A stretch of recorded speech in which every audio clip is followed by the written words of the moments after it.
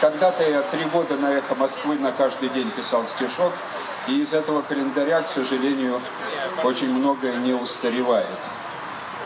23 мая 1996 года боевиками был казнен 19-летний рядовой Евгений Родионов. На исходе май, Кавказ, война. Рядовой Евгений Родионов.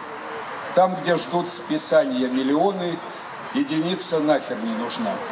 Слышите, грохочут сапоги, тянутся по рельсам эшелоны, собирают ражи и долдоны под знамена рядовых других. Жизнь бежит и не теряет прыть. Девочки гадают, залетая, то ли прошвырнуться в лабортарий, то ли солдата родине родить.